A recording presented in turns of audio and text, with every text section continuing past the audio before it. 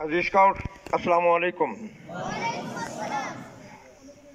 अल्लाह रब्बुल इज़्ज़त से दुआ है कि आप जिन हँसते, मुस्कुराते चेहरों के साथ आप यहाँ पर तशरीफ़ लाए हैं, इन्हीं अशास बशास चेहरों के साथ खुश खुरम और कामयाबी के साथ वापस आप अपने अपने घरों को वापस लौटें।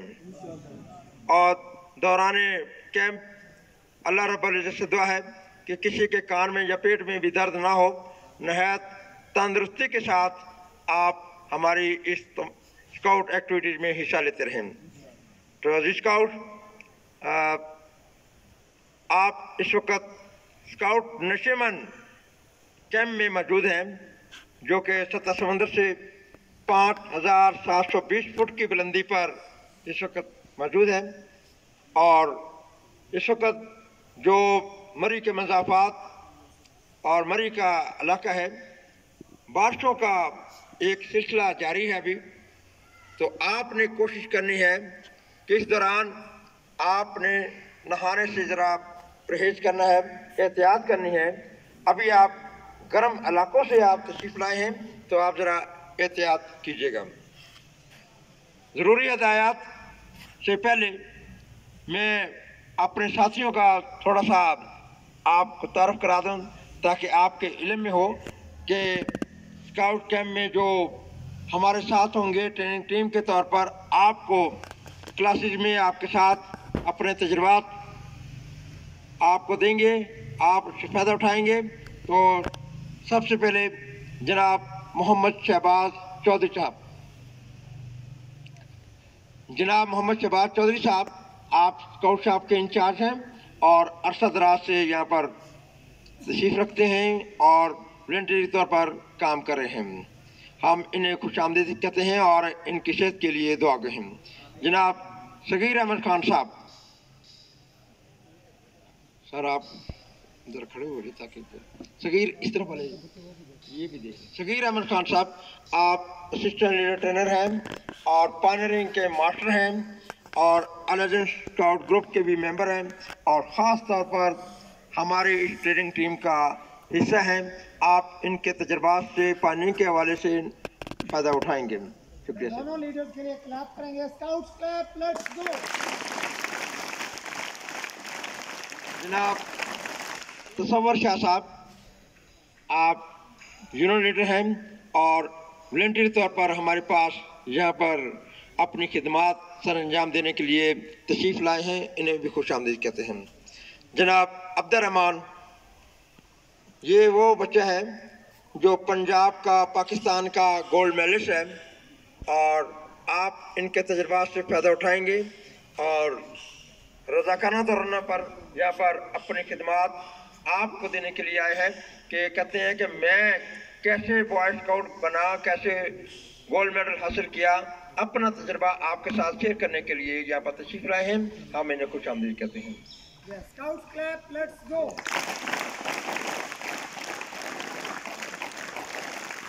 जनाब नबील कासम साहब।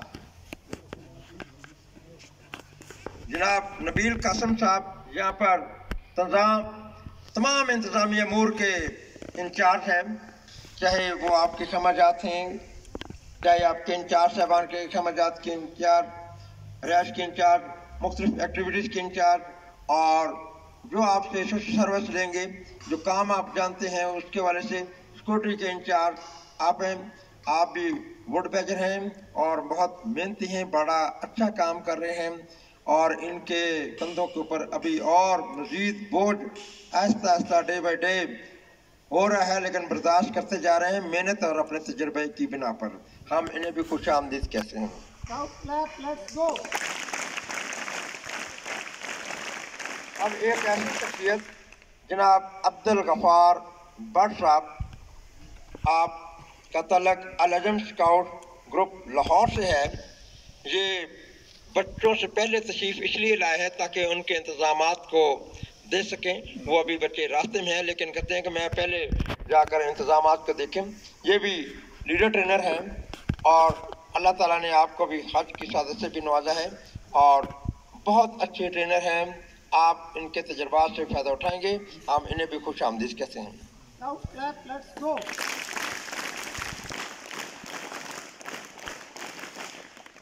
जनाब अजदाफ हुसैन साहब टोबा टेक सिंह से आपका तल्लक है। आप तशरीफ़ लाए हैं हम इन्हें खुश आमदीद कहते हैं।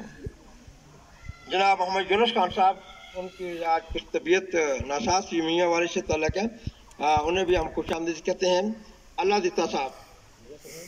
डिस्ट्रिक्ट स्काउट सेक्रेटरी अल्लाह दिता साहब। बकर से आपका तलक है। और जनाब शहदुल्ला खान साहब राहुल रावलपिंडी के साथ तलक है। और एफ़ जी ईवान से तलक है इस्लामाबाद के बॉय स्काउट को लेकर आए हैं। उनके कॉन्डिजन लीडर हैं। हम इन्हें भी खुश आमदीद कहते हैं। जनाब शाहिद साहब शाहिद हुसैन साहब और जनाब हाफिज गयास मोहम्मद साहब आपको खुश आमदीद कहते हैं। और शहर महमूद साहब चकवाल से है चकवाल से। आप भी यहाँ पर तशीफ लाए हैं आपको भी खुश आमदीद कहते हैं। दीगर दीगर हमारे जितने भी साझा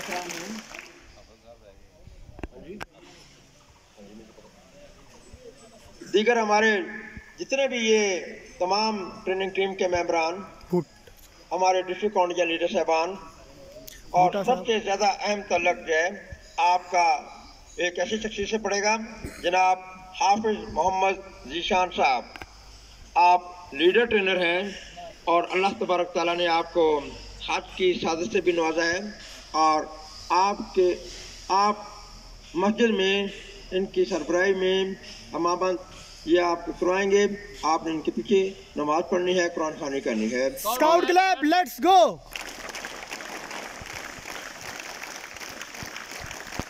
और क्लासेस में आप इनके तजर्बात से फ़ायदा उठाएँगे। इन तमाम साहबान का शुक्रिया। और दीगर हमारे जूनियर लीडर साहबान असाजा कराम तशीफ लाए हैं मोहम्मद भुट्टा साहब हैं बावलपुर बावन नगर के हमारे बहुत पुराने साथी इब्रार साहब नज़र नहीं आ रहे। बहरहाल, उन्हें भी, उनकी टीम को भी हम खुश आमदीद कहते हैं कि वो यहाँ पर तशीफ लाए तो अज़ीज़ स्काउट चंद ज़रूरी हदायत आपके जनशीन करना चाहता हूँ कि आज आप सुबह जब यहाँ पर तशीफ लाए, उस वक़्त बारिश का मौसम भी था और बारिश के मौसम में आपका सामान भी और दीगर जो आज ही जाने वाले लोग थे, उनका सामान भी था। कुछ का सामान मिसप्लेस भी हुआ और बारिश से भीग भी गए। तो जहाँ ये पार्किंग स्टैंड है, बसें वगैरह खड़ी हैं, यहाँ पर नज़दीकी बैक साइड पर एक कंटीन मौजूद है। वहाँ से आप ज़रूरियात ज़िंदगी का सामान हासिल कर सकते हैं। अगर आप समझते हैं कि यहाँ से कॉस्टली है तो आप ऊपर वाले शॉपिंग सेंटर से भी जाकर सामान खरीद सकते हैं। कंटीन के बिल्कुल लेफ़्ट साइड पर एक जामिया मस्जिद स्काउट कैंप है। वहाँ बाजमात आपने नमाज़ अदा करनी है। और मस्जिद के बिल्कुल बैक साइड पर एक पानी का चश्मे है बड़ी इमाम सरकार। चिल्लागाह भी है और पानी का चश्मे है, वहाँ से आप पीने के लिए पानी हासिल कर सकें और इसके बाद साथ ही दाएँ तरफ़ लेटरिन का एक सेट मौजूद है, वहाँ पर आप हिफाजत के लिए जा सकते हैं। और पहले कोशिश करनी है, चेक करना है कि वहाँ पर पानी मौजूद है या नहीं। फिर इसके बाद जब आप वॉशरूम के लिए जाएँ तो आपने वहाँ पर पत्थर का इस्तेमाल नहीं करना, पानी का इस्तेमाल करना है। और लोटा अगर पानी का भर गया तो ठीक, अगर नहीं पानी तो बाहर से आपने पानी लेकर जाना है। तो रिस्क आउट तो जब आप ऊपर की तरफ़ आए, आपको खामेजात आपको अलॉट किए गए जो खामेजात अभी खाली हैं, उनको आपने नुकसान नहीं पहुंचाना। वो आपके घर नहीं है। जो आपको खेमा दिया गया है, सात रोज़ा क्याम के लिए, यही आपका घर है, यही आपका महल है। इसी को आपने संवारना है और इसी के अंदर बेहतरी लानी है। अगर आप समझते हैं कि हमारा खेमा जो है फटा हुआ है तो उसकी आप सिलाई करेंगे। अगर आपने सिलाई कर दी, मुझे बता दिया या मेरे स्टाफ के किसी भी स्काउट को, लीडर को बता दिया तो आपको खूबसूरत एक सर्टिफिकेट दिया जाएगा कि हमने अपने खेमे की मरम्मत की है। एक खेमा है उसके, हम भी अभी तक सिलाई नहीं कर सके, छोटा सा। बिल्कुल नए खेमे हैं। तो अगर जिस खेमे के जो मकीम है, वो अगर देख लें तो उसको मरम्मत कर हैं तो जी स्काउट खेमे के अंदर आपने चूल्हा नहीं जलाना। ये केमिकल का साथ लगा हुआ है। अगर चूल्हा आप जलता रख, छोड़ देंगे, या लंप ऐसी जल्दी छोड़ देंगे तो आप बाहर चले गए, हवा तेज आएगी तो वो आपका खेमा जो है, जल सकता है, नुकसान हो सकता है। इसलिए आपके साथ जो साजा कराम, या कुक हजरात आए हुए हैं, उनको बता दीजिए कि खेमे के बाहर आपने खेमा के बाहर आपने चूल्हा जलाना है। खेमे के अंदर चूल्हा जलाने की इजाज़त नहीं है। फिर ना कहिएगा कि आप कहें जी के बाहर तो बड़ी तेज हवा चल रही है, बारिश हो रही है। हमने खाना बनाना है तो चूल्हा में अंदर जलाने की इजाज़त दी है। ये कदर इजाज़त नहीं है। ना ही खेमे के अंदर किसी किस्म की लाइट या इलेक्ट्रिक सप्लाई जो है आपको होगी। फिर इसके बाद आपके बाएँ। जंगले लगे हुए हैं। आपने उन जंगले के ऊपर नहीं बैठना। कुछ बच्चों की आदत होती है बैठकर झूलते हैं। और अपना बोझ उसके ऊपर ऐसे लटकाते हैं ताकि झूला मिल सके। ऐसा नहीं करना तो फिर इसकी साथ ही आगे वैली साइड पर वहाँ पर मियाँ वाली बखर के स्काउट हैं। तो आपने वहाँ पर खड़े होकर नीचे मत, पत्थर नहीं फेंकना। अगर आप पत्थर फेंकेंगे तो नीचे जो शख्स जा रहा है, उसको लग सकता है, नुकसान हो सकता है। सबसे ऊपर मियाँ वाली बखर के खेमे हैं। आपने ख़ास तौर पर ख्याल करना है कि आपने रफाजत के लिए आपने उस पहाड़ के ऊपर नहीं जाना। और अगर आप गए तो आपने वहाँ पर अपनी ज़रूरियात जो है फारक की तो आजकल बारिश का मौसम है, ये ना कि सारा सामान आपके पास ही आ जाए। आपका अपना सामान आपके पास ही आ सकता है। दूसरी बात कि वहाँ पर ऊपर जो आबादी वाले पहाड़ हैं कुछ इस तरफ़ हैं? कुछ मेरे इस तरफ़ हैं। आपने जहाँ जहाँ भी रैश गए हैं, आपने उनकी तरफ़ नहीं जाना। ये चंद ज़रूरी इसलिए हदायत दी जा रही हैं कि आज मैंने देखा कि बहुत सारे स्काउट बगैर पूछे दीवार फलांग कर दूसरों के घरों में जा रहे हैं। जब वहाँ से कुत्ते की आवाज़ आई है तो फिर भागे हैं। जब मैंने कोशिश की, कहा कि यहाँ नहीं जाना, नहीं हम तो देखने जा रहे हैं कि क्या है। ये भी आपने कोशिश नहीं करनी कि देखने जाएँ कि क्या है। हम आपको दिखाएँगे कि आपने किस एरिया में जाना है और कहाँ जाना है, कब जाना है। तो रिस्काउट आपने इसके ऊपर अमल करना है।